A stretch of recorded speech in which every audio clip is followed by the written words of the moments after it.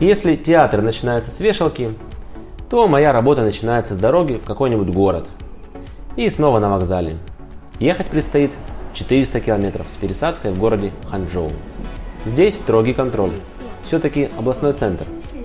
Чтобы покрыть данное расстояние, необходимо 3 часа. Можно еще поспать. Наконец-то доехал до инспекции. Всем привет!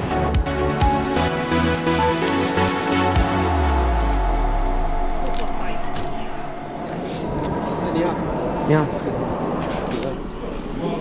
Хорошая машина.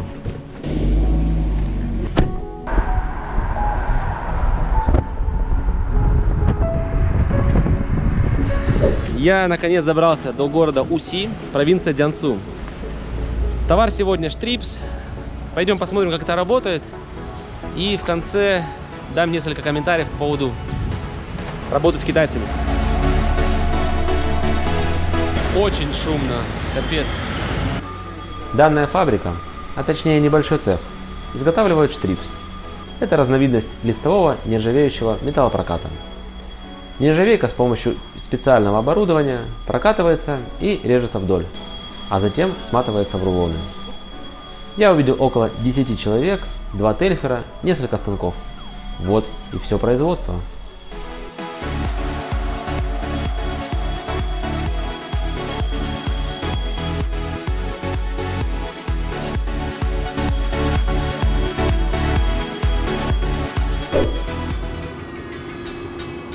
Ждем третьего человека, чтобы пойти на обед.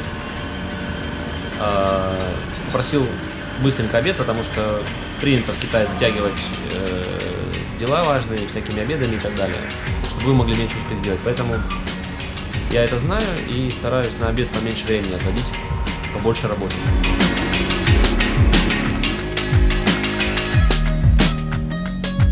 Сейчас мы отрежем 5 образцов и поедем в лабораторию, будем их э, тестировать, растягивать, замерять площадь э, и так далее. Очень важно брать образцы из э, разных мест. Тогда и результаты будут более объективными и независимыми. Попросил попроще ресторанчик, нашли наоборот. Не хотят китайцы работать.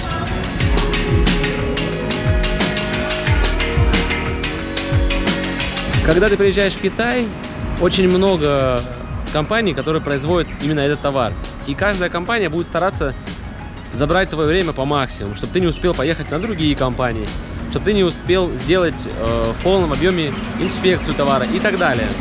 Поэтому я стараюсь кушать быстро, по-простому, не терять время, и вы не теряйте. Поэтому кушаем и за работу.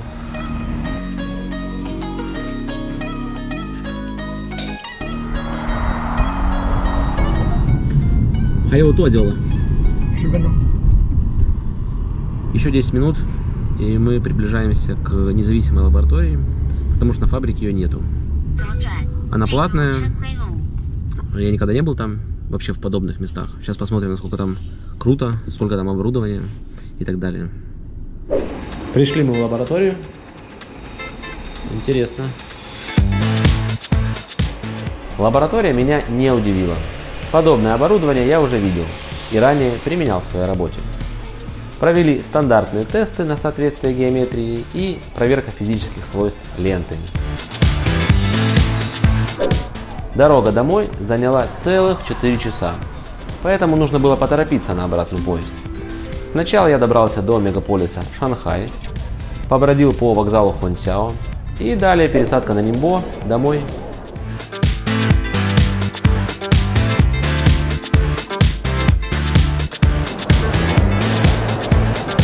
Это кабинки показывают занятость в туалете, эти циферки. Я такого первый раз вижу. Моя работа окончена, но изделия не прошли испытания. Китайцы уговаривали меня взять три образца вместо пяти. Но именно в четвертом и в пятом мы нашли дефект. Поэтому не пренебрегайте мелочами, особенно в Китае. Пока.